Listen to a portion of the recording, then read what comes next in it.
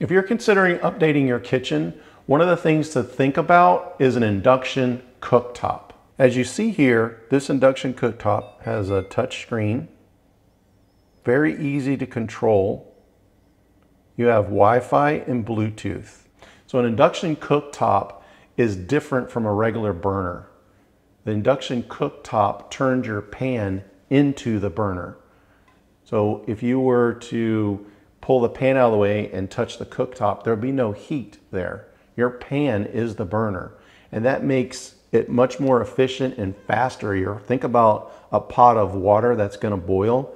The whole pan is your burner. So the boiling of the water is much faster and you have gas-like uh, adjustments to your temperatures.